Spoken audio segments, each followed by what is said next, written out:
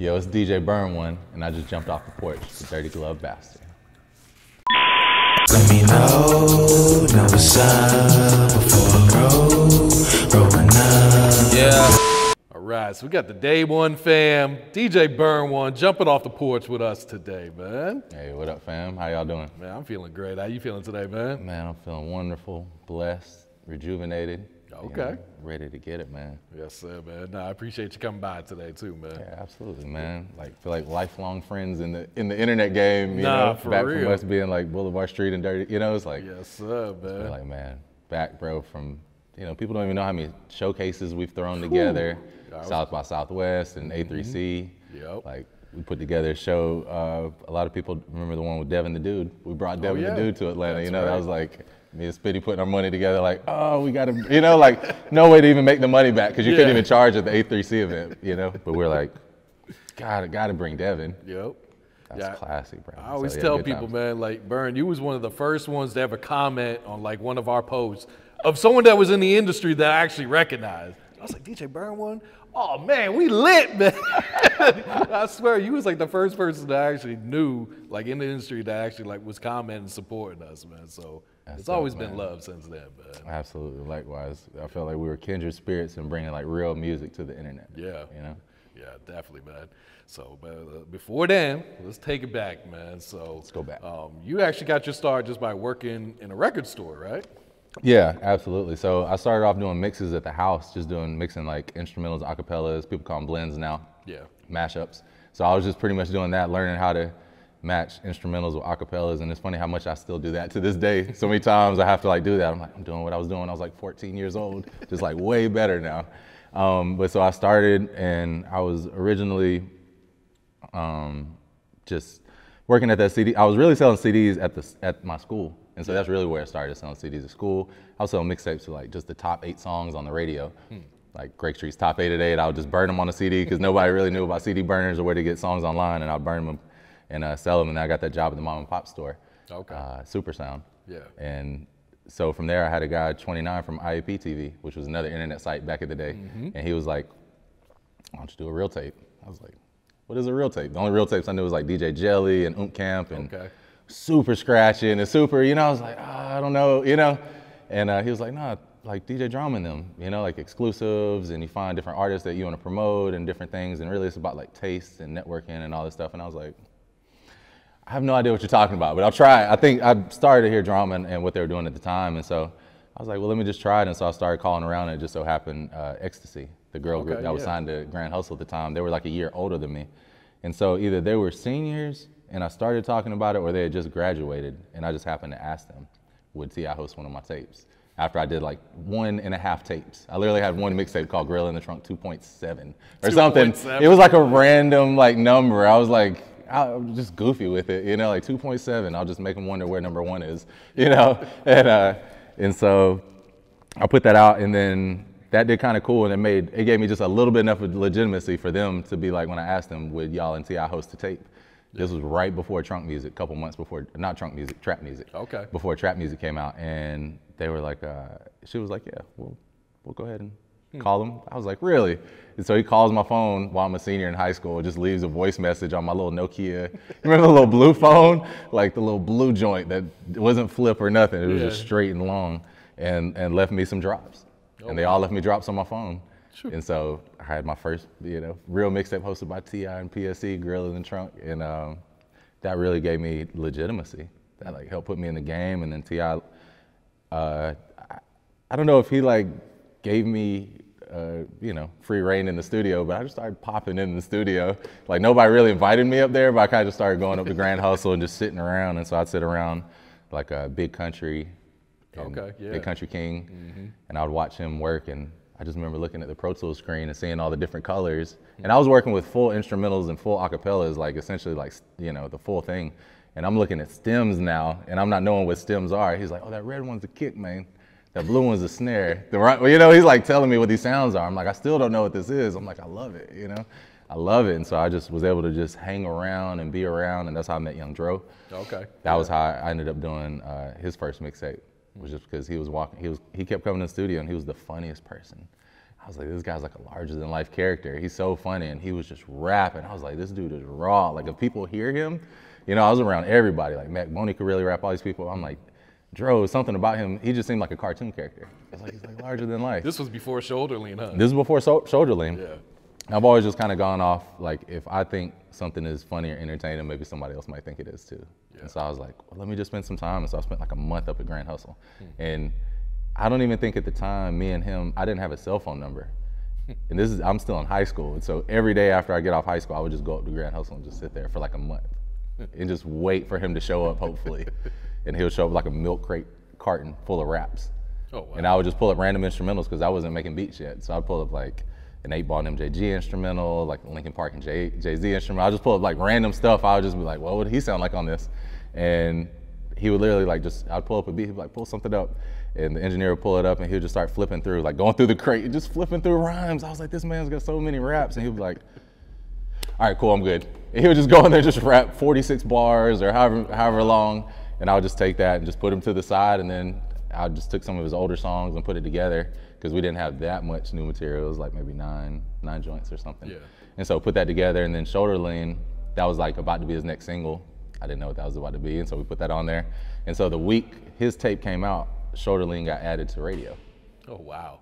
the week the album, you know, the week our mixtape came out, Shoulder Lean uh, got added to Hot 107, and I was like, this is crazy. You know, I was like, this guy was just hanging out in the studio, nobody was even really, you know, stunting him, and now he's he's got a song added, and so I saw him the week after, and he was like, yo, I just want to tell you thank you.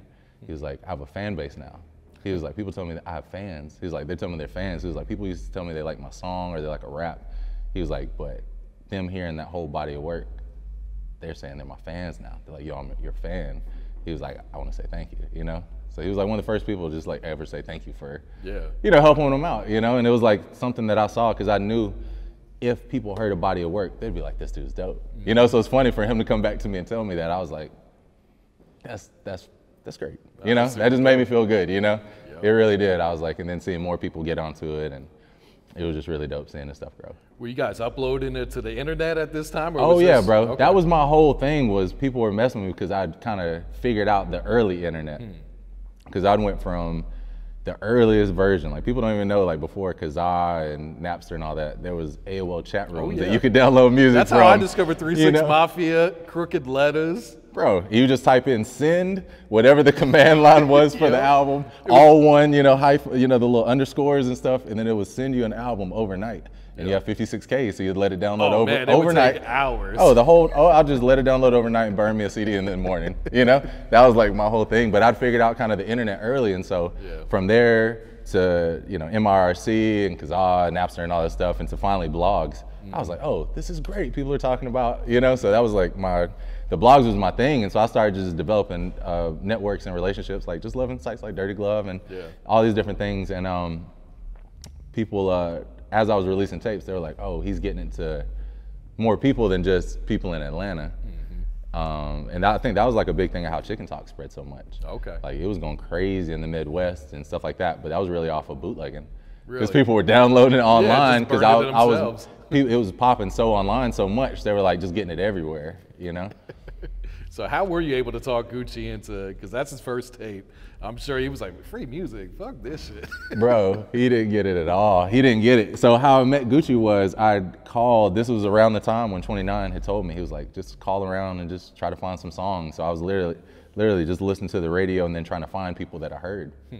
What else did I? There was nothing. The blogs weren't even really popping. yeah, there the was no. Twitter at this point. No, this is like 2004, 2005, none of that. So I would call.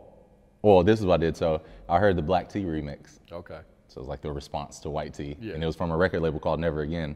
And so I looked them up in the phone book. Really? Straight up, bro. Looked them up in the phone book because they had a real studio. I didn't know. I didn't know anything. I just looked it up. It said Never Again Records. I called it. Gucci Mane picks up. he actually picked up. Gucci Mane's the one that picks up. You know, like so ambitious. I love it. So he picks up the phone. He's like, "Yeah, come up here." And so I just come up there immediately, and immediately he takes me to Zaytoven's house. Oh, wow. He like takes me straight from Never Again Records over to over there. You know, and I was like, "All right." He plays me so icy. This is the first like this is my first meeting with him. Just all random chance, like straight chance from calling this number in the phone book. And so he plays me so icy, and I was like, "That's Lil Will," and he was like, "Yeah." I was like, "You put auto tune on Lil Will?" he was like, yeah. I was like, really? You know, I was like, I love looking for Nicki and like that real soulful Lil Will. So to hear it sound kind of robotic and autotune wasn't the wave at all. T Pain was the only person that was really using it at the time before, you know, after Cher. And so I was like, uh, you know, I wasn't like you hear it and I feel now I realize if a song is kind of jarring to you, maybe it's something new. Maybe because if you don't hate it or love it, it's never gonna really jump. You know, you gotta have like a that type of thing to it. And so um, I heard it and I was like, I don't really know. But I just knew he played me other songs and I was like, oh, this is great. And the same thing, he was so funny. I was like, he's rapping about the most street shit, but it's funny. I'm like, he's so funny. You know, I'm like, why am I laughing about him robbing people and, you know, the stuff he's saying? I'm like, why is it, why is this funny to me? I'm like, I got, I got to do something with him. And so I was like, yo, we should do a mixtape. And he's like, what's that? I was like, uh, you know, you get, you just put your songs out and then you don't have to worry about a label. And he was like, well, I kind of just signed and I don't know what you're talking about, so I don't want to do that. And I was like, I appreciate you telling me that because a lot of people give you the runaround in the industry. They'll give you the number and then make you just chase them instead of just saying, I'm not interested. You save everybody's time, you know, you, you really do. It's very easy to just say, I'm not interested or I don't have time. And most people don't do it, but he did it. And I was like, thanks. I told him thanks. I was like, appreciate it, you know? He was like, what? I was like, you didn't give me the runaround. I was like, this is, and so we literally didn't talk for a year. And so So Icy came out, blew up, and then it kind of cooled off. And I think he went to jail for that promoter with the pool stick incident. Okay. And then came out, and then he dropped My Chain, and it didn't do so good. And Atlanta has a history of one-hit wonders. For all the all the great things we've done, we just have a bunch of one-hit wonders as well. Um, not only one-hit wonders, but we, you know, there's a lot of people who just have one song and it's like a classic, and then you don't really hear, you know, nothing else. And so people kind of thought maybe Gucci just kind of dropped that classic, and then that was just kind of his thing. And he called me. He was like, "What was that thing you were talking about?" I was like, "A mixtape." He was like, "Yeah, let's do that." You know, he was beefing with the label. I didn't even know none of this. You know, I didn't know any of it until later. But he was beefing with the label and all this stuff, and so I pitched him on. Well, even at the time, he didn't really know. Later on, I pitched him on. I was like, "You're going to be able to get your music out to people, connect with people. You can go and do shows on your own, and you don't have to worry about a label." And so to him, he was like, "This is my chance at freedom and Yeah. not getting stuck in this situation." And so we spent like a month working on it. like almost every day. Pretty wild times. Uh, pretty wild times, but we almost spent every other day working on it. And so the project ended up being a mix of songs he already had recorded and some new stuff. Like he did the Burn One freestyle. He was so happy to do that. He called me over. He's like, I got something, you know, came over and laid it. I was like, this is great. He just kept saying Burn One. I was like, he was so happy saying it. He just used to love saying my name. I was like, this is great, you know, it's wonderful. And um, and so yeah, that was just a, a really good time. And then to see it come out because I really executive produced the project, like from the beginning, like spearheaded. He had probably three quarters of the songs, and then we put the other ones. But I was the one that said instead of putting 24 on one CD, I was like, bro, this isn't no limit. I was like, give me. I was like, no limit. You know, it was like, let's just do 12 and 12, one CD, and then you know, two CDs, and then uh, I took the cover. I took the picture for the cover. I got the artwork done. I pretty much just executive produced it, and then handled all the distribution, uh, at least physically yeah. uh, like printed them up. And I remember like the first time we went to Discount Mall, like we walked in there. I had them in the truck. Like he came, we had like a 4Runner or something at the time, and I pulled up in it, and uh, he stayed in the truck, and I went in, and I remember having them, and because they were double, I was wholesaling them for four dollars instead of two dollars. And the guy was like, four dollars? He's like, Gucci Mane. He's like, man, he's ice cold. He's like, man, don't nobody want this, and like kind of shoved it back to me, and I was like, whatever, you know, whatever. I grabbed it and just walked right back out. And as soon as I walk out, Gucci has people surrounding the car. he's playing it, and people are just surrounding the car, and he's selling them right out the car. The dude comes running out the store. Man, let me get 40. you know? It's like, that's why I tell people you should never go off of other people's opinions. You know, you'll let somebody kill your dream faster than anything else just listening to somebody's random opinion, you know? If I didn't know what I had, I didn't know really what I had, but I knew it was better than, you know, than nothing. I'm like, man, I know I got some heat right here. It's like, oh, it's cold. I'm like, all right, you didn't even want to hear it. You know, you didn't even want to hear it. You're just gonna say it was over. I'm like, all right. Just walk right back outside. People swarm in the car. I was like, this is dope. You know? I know you wanted to turn it into an NFT also. What yeah, it's actually? Bro, it's still forthcoming, bro. Uh, apparently, his lawyers don't want me to release it, which is crazy, bro. Because I really haven't made any money off of it since it came out, since I did that initial. And then, like I said, bootlegging picked up, so it wasn't like I made like a killing off the distribution. Like I put it online and Yeah. kind of you know ran with it from bootlegging, but. Uh, it's all good, bro. They don't want me to drop it. I still have like the three CDs. I have like the two CDs he gave me with the raw songs, the two CDs with my master disc, and then the actual final copy. Okay. So I may still just drop it and say it, you know? But I don't know, it's kind of weird, bro. You know, like I see everybody's kind of touchy feely about getting in NFTs. I saw Jay Z suing Dame Dash and all this. It's like, I don't think people understand what it is and they're just like, no. Yeah, they're like, if you're making money off of it, then Yeah, but it's like, honestly, really, if I wanted to sell it, I probably will sell it. You know, honestly, facts, bro. I, I mean, I probably still will sell it. I just hadn't figured out exactly what I want to do with it because you got to think it's memorabilia, bro. Mm-hmm. These, I'm not selling the rights to the music. I'm just selling the physical copies of what I have yeah. that nobody else has. You know, come on, bro. Somebody probably paid a million dollars for that shit. You know, it's because it's for real. It's like nobody has heard those songs untagged or not in the sequence that we have. Like, bro. So I'll probably still drop it against the lawyer's wishes. You know, hey, I don't Sometimes really you gotta take it into your own hands. Sometimes because man, bro, it's like we put this effort in, bro, and for some reason, I don't know why people that haven't like something in the industry, people that don't have something to do with the main part of what happened, always want to crab on it. They always want to crab on it. Like if you didn't have an actual part in the beginning, for some reason, the people that because the people that told me no were not around. Hmm. Who are these people, bro? You know, the people that are emailing me, I'm like, I don't even know y'all. Can I get Gucci on the line, bro? You know, and it's like, no, but all, all the people around, you know, the new handlers are saying no. So it's crazy, you know. They were not shooting with us in the gym, bro. they were not, you know. And the fact that I, I taught him mixtapes, you know, if you read his autobiography, Yeah. it says in there the whole story of how I taught him mixtapes, mm-hmm. you know. Nah, he definitely gave you your props for it. Guess I'll take that as payment, bro. Yeah. You know, like, thanks. You know, we'll, we'll take the shout out as payment. You know, we'll cash that. You know, Yeah. it's all good, bro. What was your inspiration going and uh, creating Boulevard Street? Boulevard Street, bro, was really like a creative outlet for me at a time of where I just wanted to make beats. I kind of got, I was doing mixtapes for a while, and a lot of the tapes I was doing, I was working with dope rappers like Freddie Gibbs and Pill and all these people. But I just wasn't loving a lot of the beats, not just theirs, but just that other people were rapping on too. And I was like, instead of just complaining, let me create the alternative. And I always want to make the antidote. You know, I'm like, if this is what's going on, I'm gonna make the antidote to that. And so I just want to make beats. And so I was like, I'm to make five beats a day for a year. And that's what I did. But about a month in, I was like, I need a hobby. Like, I need a hobby. Like, I got to do something else because I stopped doing everything else except hosting mixtapes. And that didn't really take that much time. So I was like, I need something to fill my time. And so I was like, why don't I find, like, I'm always coming upon this dope music anyways. Why don't I just share it? I already love all these blogs. Yeah. Why don't I just put it up on my own? And so it's funny enough, just doing that. And we used to post up so much music and find all these new artists and just help to spread the word on these dope artists. But it was funny because just doing that is how Yams found me, Oh, which is how I ended up getting the ASAP Rocky placement. Oh, shit. because they found Boulevard Street. Yams found Boulevard Street. You know, he was like the tastemaker of the crew. So he was like, "Oh, we need to get in this hip, you know, Southern blog." And so they had sent me something before. It was even ASAP Rocky. ASAP wasn't even a thing. It was just Rocky. He had a song called "Been Around the World." Yep, I I think you know. And uh, so I posted that up, and I remember writing like, "New York dude with the South flow." Pretty cool. like I think that was literally my my uh, my summarization. And uh, and and uh, you know it's funny because maybe a couple couple months after that, I don't know how long, sometime after peso drops, it starts going crazy, and so I flew to New York.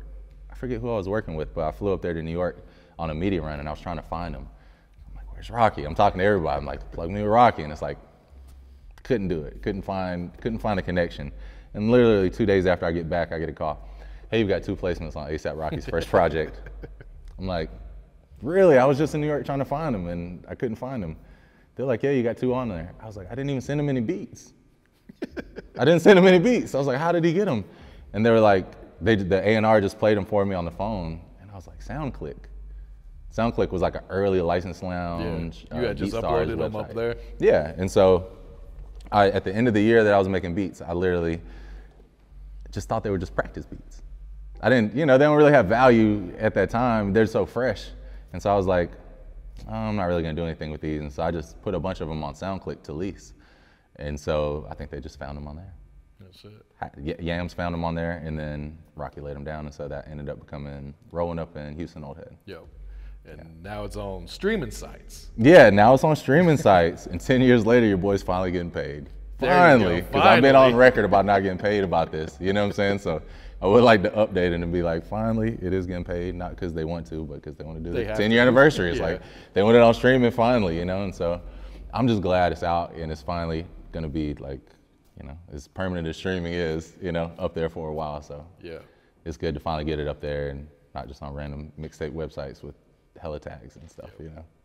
So how did you discover Yelawolf and Trunk Muzik? How did that come about? Yelawolf was cool. So I met him through Pill. Okay. Literally, if you looked at look at the uh, Trap Gone Ham video shoot, I don't know if he was in there, but he was just like Yelawolf was just like sitting on the floor in the corner, like like literally like just in the floor in the corner, just so chill. And somebody's like, "This is Yelawolf." I was like, "Hey, what's up?" You know, I was just sitting there. I was like, "What's up, man?" You know, and so.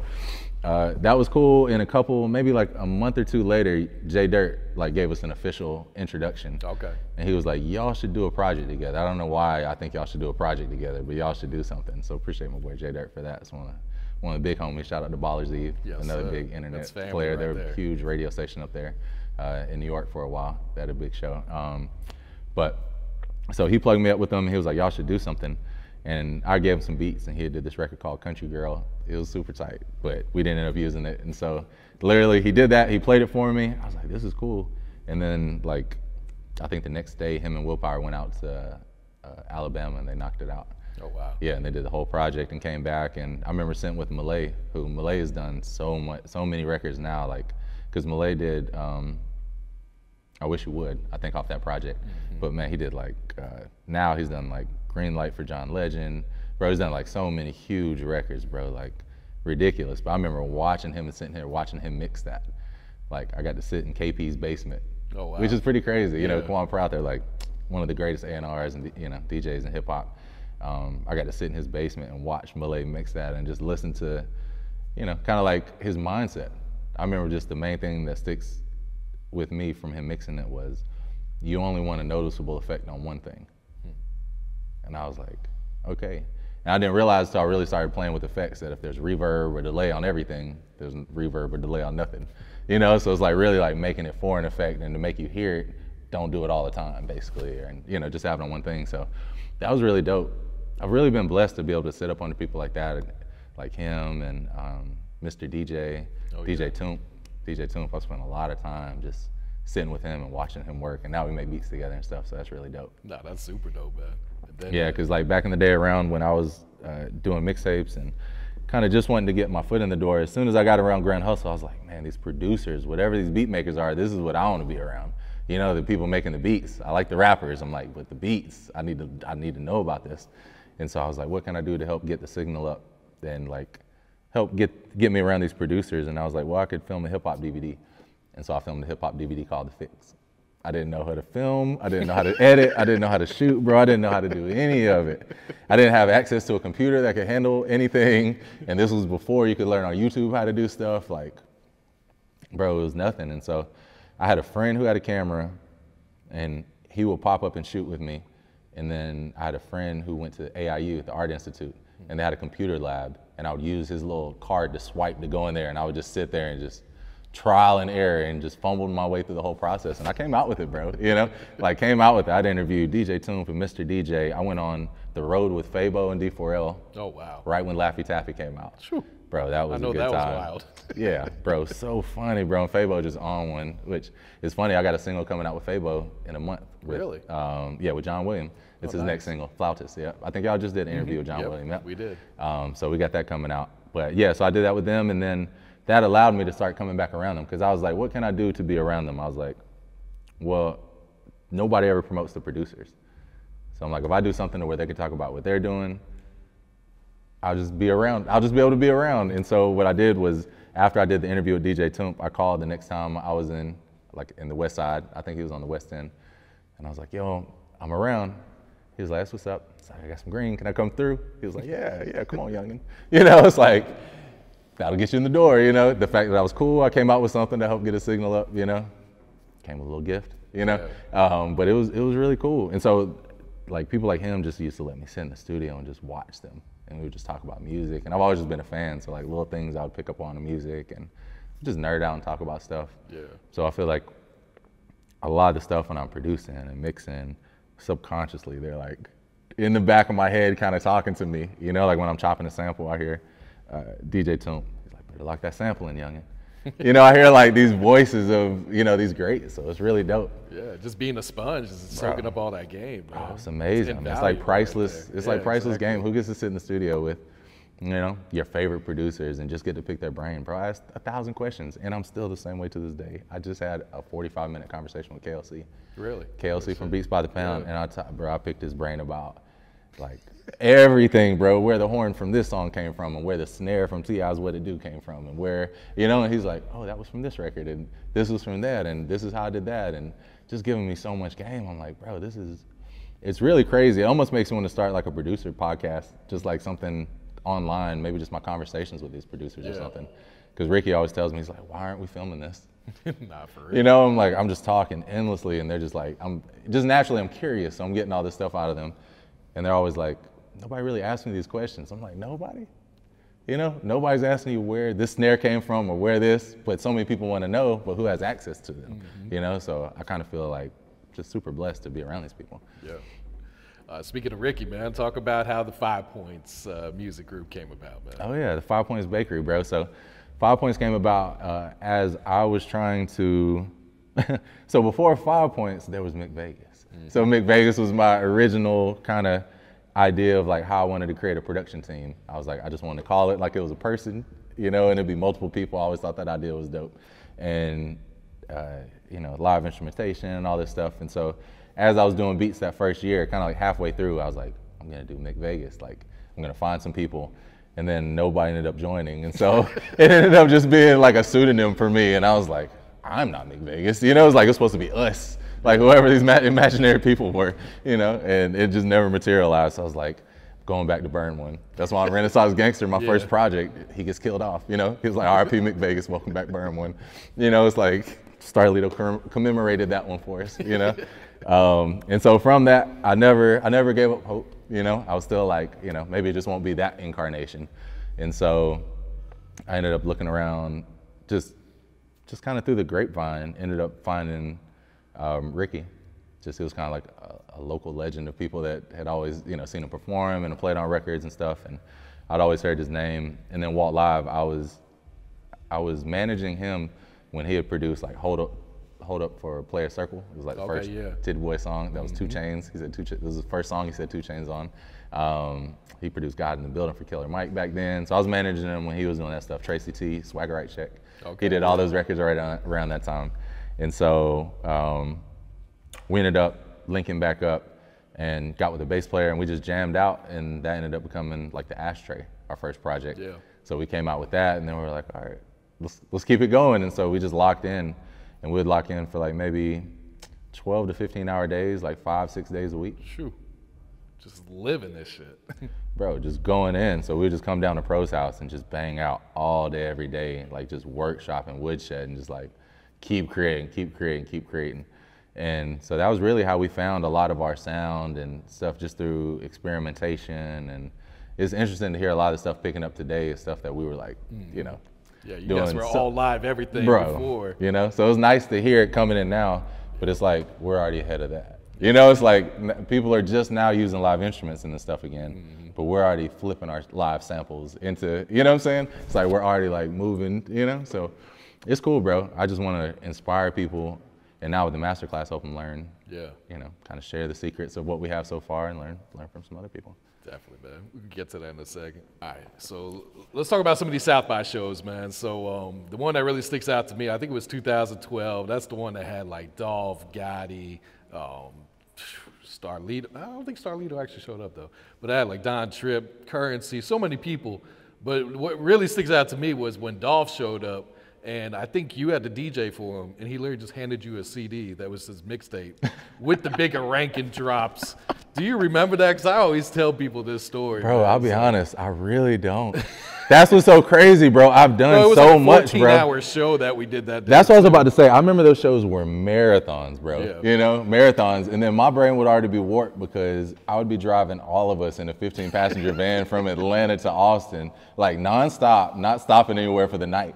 And for whatever reason, I just love driving, bro. And so I'll drive the whole 15 hours by oh, myself, Oh, hell even though it's like 13 people in there. And we were just like, everybody just freestyling and smoking the whole time, you know, just going down there on a 15 hour trip to Austin. So every time I get to Austin, my brain would just be kind of like mush.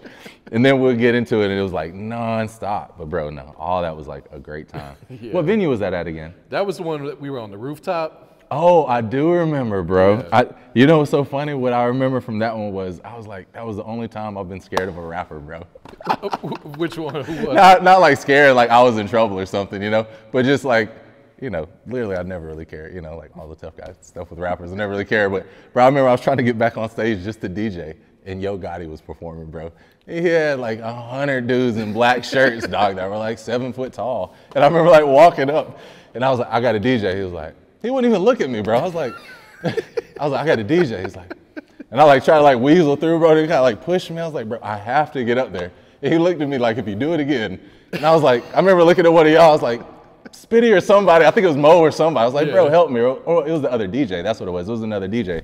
And he was like, no, no, no, no, no. He's with us. He was like, he got me up there. I was like, bro, what is going on? I mean, it was just like, I was like, I never cared before. But I was like, God, he got this thing together. That bro. show was crazy because that was, I think, uh, ASAP Rocky's um, first South by. Oh, so yeah. Yam showed up. I think uh, Chase Jason Cash was his DJ, and he dropped That was the first time I met Mac Miller too. Just Really? randomly walking through there. Yeah, and they dropped the, the Chief Keef record, and the whole place went crazy. That's like when 300, or I think Oh, I, do remember all that. It Yeah. was wild. Oh, that was when the Cashing Out record just came out too. Yep. I remember all this. Oh yeah, that rooftop show. That was show was crazy. That's the It one where was. Zip fell asleep on stage, and I'm like, how do you fall asleep during a concert on the stage? Right, But that's it. bro. Legendary, bro. Nah, Nah, that was a good time, man. Dolph was such a good dude, bro. Really was, man. Like even just pulled up to the house, to drop a verse or something. Oh, like, yeah. Just whatever you need, bro. You know, just such an awesome person, man. yeah, long live Dolph, man. Absolutely, bro. Um, talk about uh, how you discovered Pierre Bourne too.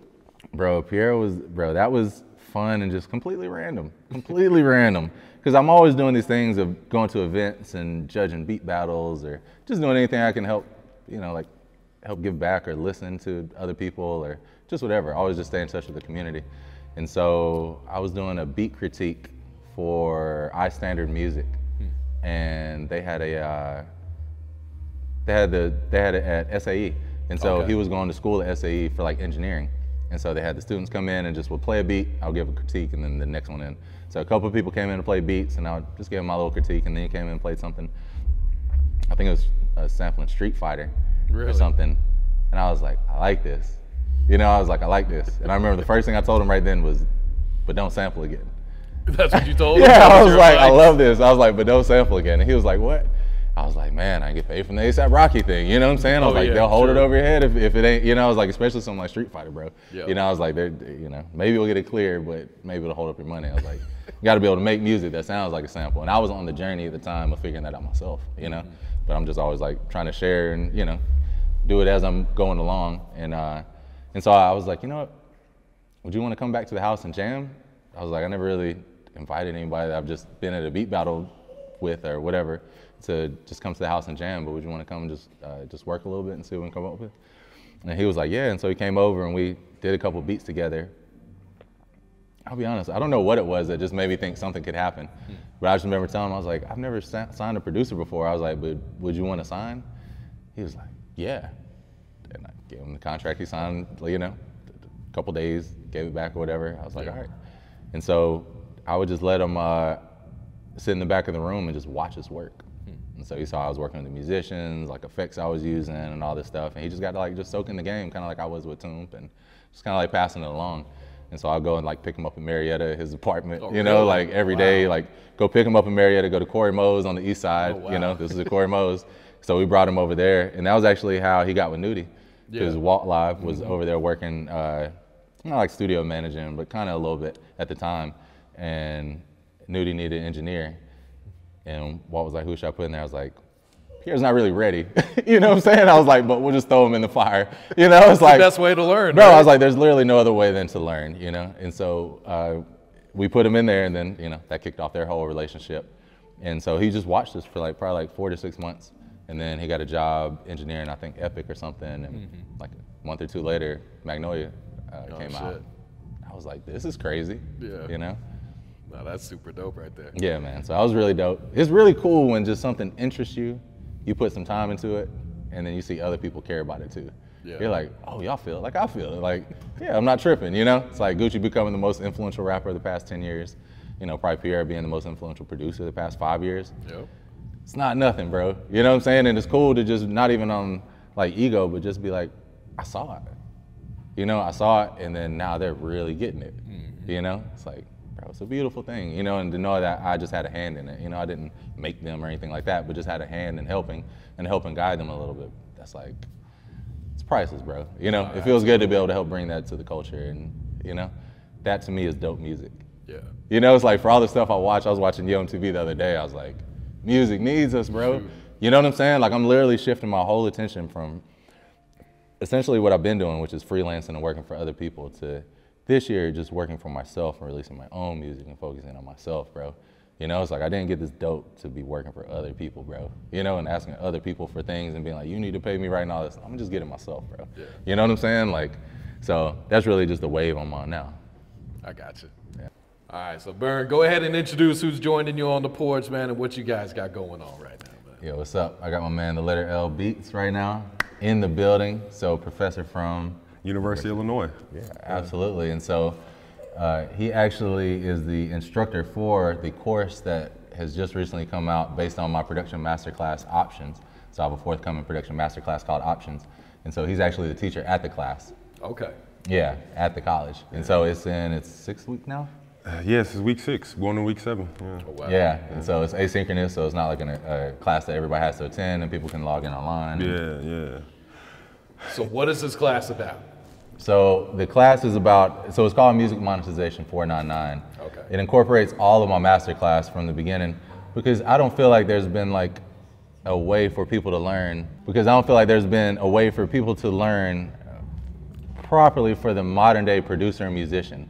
Like I feel like all, a lot of the, the courses at colleges and just places that you can learn now aren't, um, aren't for the modern day producer you know, for networking. People don't understand the soft skills of just getting along with people is just as important as knowing the musical notes, is just as important as being able to get along with people and just talk to people and communicate and help get what you want out of people in a, in a good way. You know what I'm saying? And like, uh, I feel like what we're doing is kind of teaching a well-rounded approach of like definitely going deep on production, bro.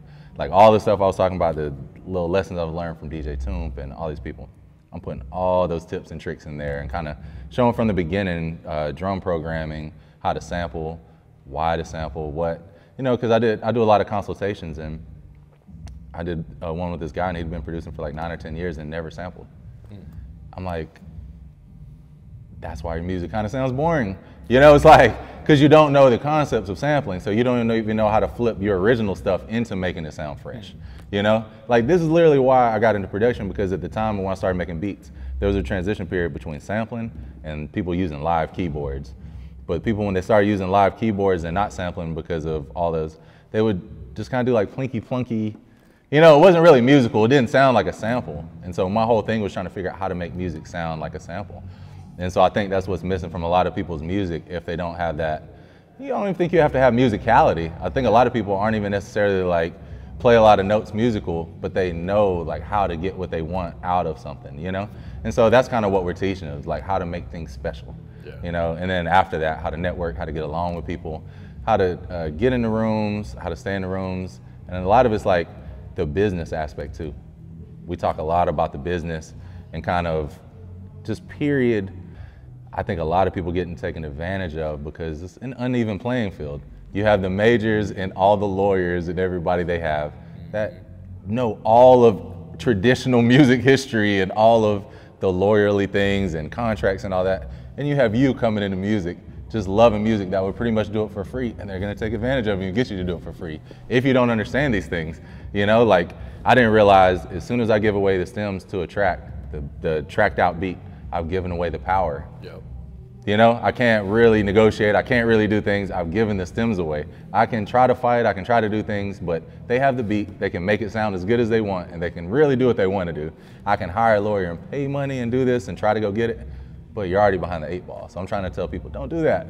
You know, get some type of an agreement in place. And so we're trying to kind of give you some common sense things as far as just how to protect yourself Yeah. and how to move in the industry and and just how there's different ways to make it. Some people don't need to chase placements. Some people could be like a pop and lo-fi producer just dropping 30 instrumentals a month on Spotify. There's a million different ways to do it. You could want to score a film or do that stuff. And so we've been lucky enough to like do sound design for the 19 uh, what was it 1942 the movie trailer Okay, yeah. um, yeah the the war movie uh, we did sound design for that and um, the Justice League. We did sound design in those movie nice. trailers. And then we did a record on the Superfly soundtrack with Sleepy Brown, and that was in the movie. And so we've been able to get a bunch of different like sync placements and stuff like that. So I'm kind of sharing the knowledge of how you can get placements and get your stuff out there because that's what everybody wants to know. how do you make dope music? How do you How get to it to people? Yeah, and how do you get paid for it exactly and not get it taken from you? You know? So. I think we're just kind of giving like I wanted to do like a well-rounded course to help people who maybe didn't know anything and people that have been in for a while and want to get re-inspired. A little bit of something for everybody, you know? Yeah, definitely. And L, has this type of course ever been offered at the university before? Nah, and at the, at the U of I, University of Illinois at Urbana-Champaign, we're moving into a new direction, right? And that was one of the reasons I was able to get the job, because I spent four years down here in Atlanta. Like I said, I used to work for Producer Grind, I worked for Willpower, I worked for iStandard, and so they knew that I was moving around in the industry for real, and they got so many students coming in, like starting to turn down their offers because they want to go, how do I get on? How do I get into the industry? And after spending four years down here, because you know, you know, you come down thinking like, I'm gonna go down, I'm gonna get on. And you realize it's like a process, right? And so then I started meeting people. We have a lot of kids that come from Chicago. A lot of them want to be artists, but the parents are like, yo, you gotta go to school. You know what I'm saying? So it's like, I thought in my mind, how can I build a pipeline between Atlanta and the University of Illinois? And so I had this relationship with DJ Burn One from working at Producer Grind. We interviewed him, you know what I'm saying? And Four years ago. that was a minute ago. That was Four minute years ago, bro. He just reminded me. I was like, that's the last time we physically saw each other. And we tried oh, because we tried to link while I was still here. You know what I'm saying? It just didn't quite work out. And then when I saw this opportunity, I was like, "Yo, we need to bring that master class to to the school." You know what I'm saying? Because like, like we was talking about um, New Music Mondays, right? Which you know I think y'all y'all have a hand in that, right? No, we don't. Oh, you don't? Okay. I'm, well, I don't know. Whatever. But Coalition DJ. Coalition Yeah, DJs, yeah. okay. But New Music Mondays, even with that, like once I saw that, I was like, yo, this is. I watched um, Erica Banks get on. I watched what's uh what, what's her boy that had throat throat baby. Oh, BRS Kash? Yeah, BR's Kash. And so I'm watching these people really come, do their song, and then watch them kind of start to like move. And I'm saying, how can I get my students from, all right, this is how you record good records, this is how you make good beats, this is how you write a good song, this is how you engineer that song, then this is how you take that and go network and go poly and then turn it into a career, you know what I mean? And so we call it monetization because here's what we do have a lot of, coming back to making your own samples, right? We have a ton of musicians, like real musicians, right? And the jobs they've traditionally been trying to get, those jobs are going away. And so I'm going to violin players and flute players and piano players going, yo, you need to make a sound kit, get it to Tracklib, you need to get the DJ Burn one, you need to get the P like because trying to let them know that there's a market for like this real music, you know what I'm saying? Don't worry about going to perform at this orchestra group in, in New York or LA or whatever. Like put out a sound pack, you know what I'm saying? So and so just letting them know that there's other ways to monetize your music besides just playing at Carnegie Hall, you know what I'm saying? Yeah. No, that's super dope. So do do students have to be enrolled at the university to get the class? So basically, if you're not enrolled, go to DJ Burn one. You know what I'm saying? Because then you got access to the full master class. But if you're enrolled at the university, you get three extra classes. You know what I'm saying? And not only that, we're gonna bring Burn one um, to campus in April. He's gonna do a beat battle. You know what I mean? One of the other things we do is we work with a lot of music teachers, right? Because the thought is. All right, if you can learn how to do a trumpet in K-12, why can't you learn how to make beats in a DAW? But you need teachers that know how to use them. So we get a lot of like master students who are music teachers, and we teach them how to use DAWs. You know what I'm saying? So um, it's kind of like a full circle, just creating an ecosystem where now I can, in my mind's eye, say I want to be an artist. Go tell my parents, yo, there's a program that I can go do in college. I could become an artist, monetize, and get a degree. No, that's super important right there. So I know this is just the beginning. You guys have some other plans together, There's some more courses you'd like to start going to? Bro, yes, absolutely, man. Well, one thing that we did start was a music review. So, Oh, like yeah. every other Tuesday, we do an online music review for like an hour. And so, because the first thing that I started off in the masterclass talking about is doing an assessment. Pretty much like one of the things is giving yourself a batting average. Like out of your last 10 ideas, how many are dope? You know, Ted Williams is four out of 10. He's a legend, bro. You know, he's in the Hall of Fame.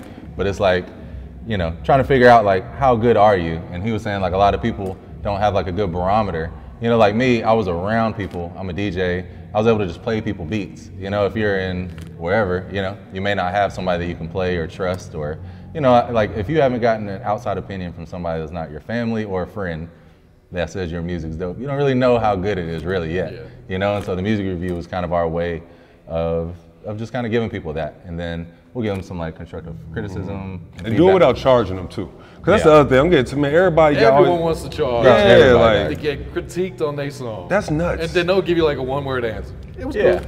yeah. And he he brought it up. He was like, we could charge for it. I was like, mm, I don't, you know, like I don't really care for that. You know, like this is something that I feel like I've already met a bunch of dope artists and producers that I'm following and stuff from there. I'm like, we don't need money from this. You know, we just take an hour, listen to people's music, help try to point them in the right direction. Yeah.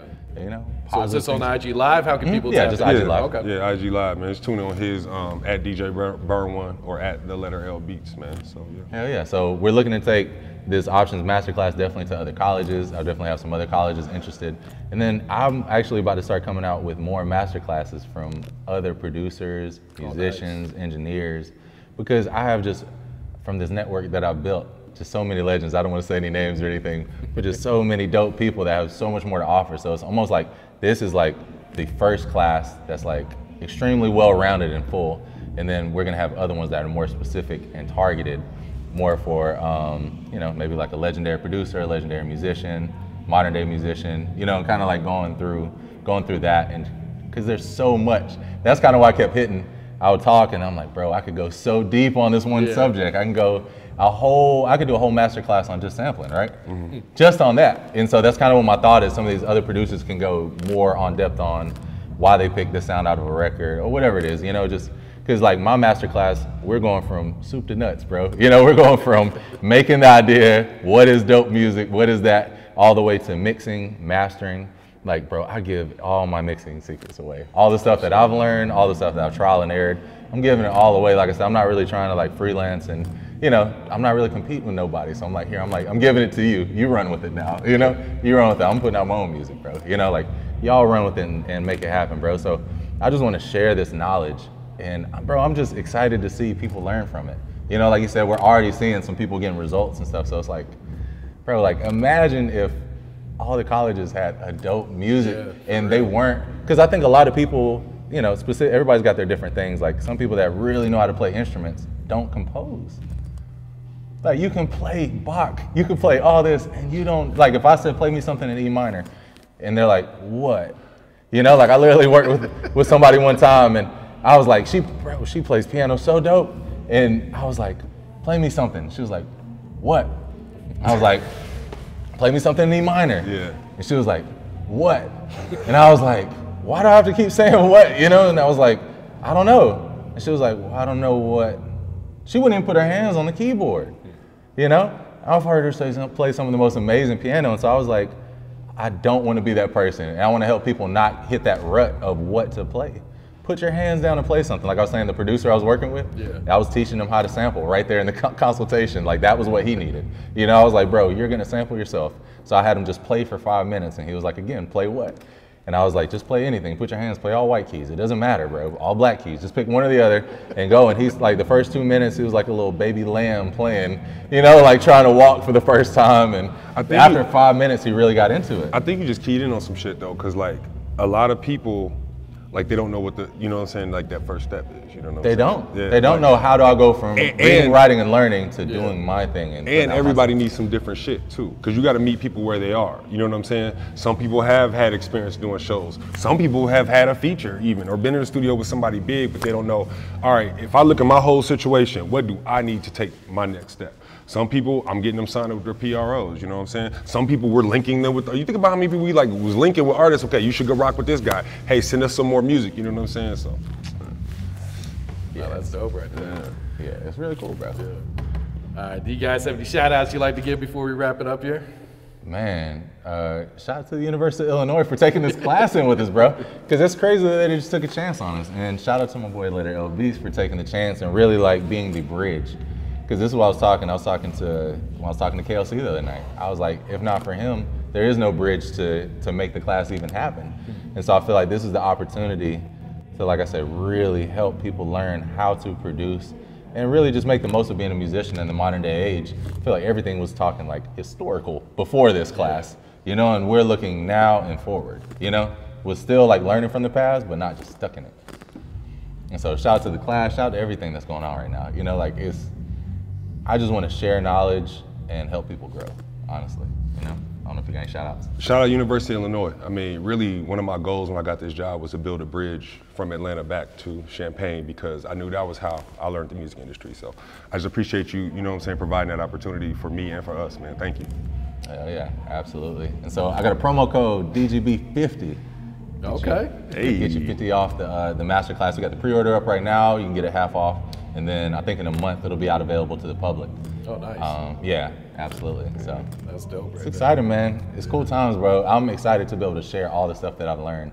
Because I honestly have so many conversations nerding out with people over music. And I'm like, you know, kind of that same thing. Like, nobody's around to hear this. And then also, does anybody want to hear it? And then you realize, oh, a lot of people want to hear about this. And there's so many different aspects of music. There's not just one thing. Remember the kid that played the beat and you were like, yo, I was just working with that same sample. Oh, yeah, This kid plays the beat and then Burn One turns around and plays the same sample. It was like, yo, that's, and then it was like, this is how you do it. You know what I'm saying? Yeah. Yeah, man. Nah, it's dope, man. It's super dope. So yeah, uh, www.the5pointsbakery.com.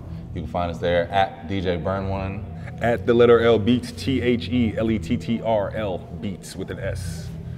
Absolutely. I got a new single coming out with uh, John William and Fabo, Running Red Lights. Hey. That's coming out, yep. And a new single with Daniel Payne and Duke Deuce. That's wow. super hard. Oh, That's bro. gonna be dope. It's I need that. fire, bro. Both of them are so dope, man. I'm excited. I actually shot the Fabo video. I shoot videos and do all that stuff Yep. too. Like I've been doing that. I shot like six videos for B.O.B. a couple years ago. Um, and so last year we had Night Drive from John William that was playing all year in rotation. So that was pretty dope, man. Sweet. Yeah, man.